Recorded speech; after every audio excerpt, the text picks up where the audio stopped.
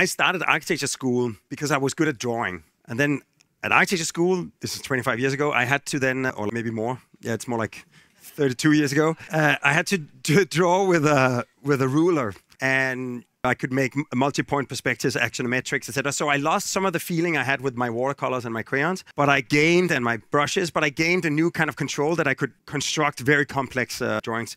Then I had to draw with a mouse, and I lost the tactility of the physical drawing, but I, I could map different materials, make daylight settings. I could move around in three dimensions. So I lost some control, but I gained a new world of opportunity. And then I started working with people.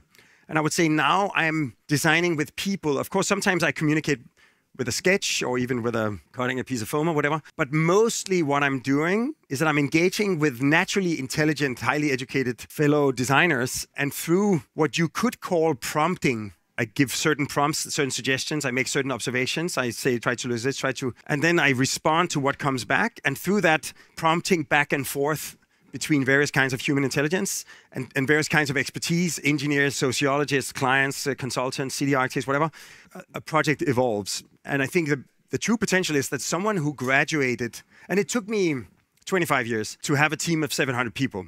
And I love that creative power of, of having uh, assembled this amazing team. But someone who graduates from architecture school today, who has a lot of will and a lot of intent could actually have the force of 700 at uh, his or her fingertips simply by being, being very good at working with, uh, with artificial intelligence instead of natural intelligence. So it's an incredible frontier, and uh, we can't even understand how fast it's happening and, and how much it's going to change everything.